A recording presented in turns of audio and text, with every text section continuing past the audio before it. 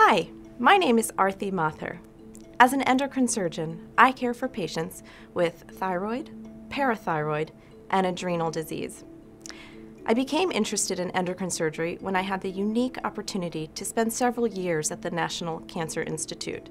This really allowed me to understand and appreciate the comprehensive, multidisciplinary, and personalized care that every person who needs endocrine surgery really deserves.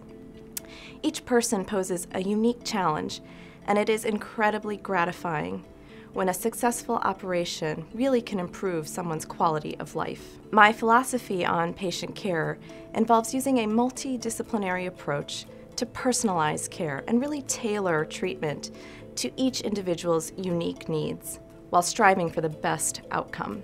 My clinical interests are thyroid nodules, thyroid cancer, hyperparathyroidism, and adrenal nodules.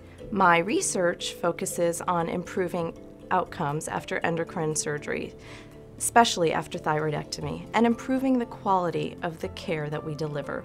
I currently see patients at Johns Hopkins Hospital and in Washington, D.C. at the Sibley Medical Office Building. It has truly been an honor and privilege to have trained and now work at Johns Hopkins, and it would be an honor and privilege to be involved in your care.